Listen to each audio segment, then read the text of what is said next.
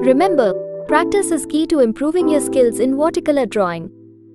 With time and dedication, you will develop your own unique style and master the art of creating detailed watercolor drawings.